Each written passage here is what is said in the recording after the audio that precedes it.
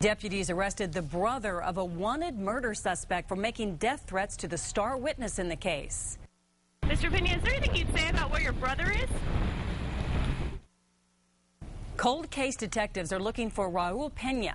He is accused of gunning down Roberto Chavez in 2008 at a giant gas station at Coors and Arenal after the two got into a fender bender.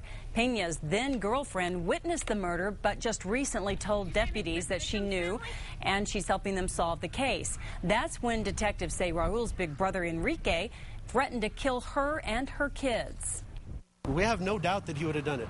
We had no doubt that given the opportunity, if he felt that she was cooperating with the police, that he would harm her or her family. Raul's around somewhere. And we're hoping that with Enrique getting picked up today, that people will feel more comfortable talking about it. There is a reward for information leading to Raul Pena's capture. Deputies say that he's known to travel between Juarez and Albuquerque.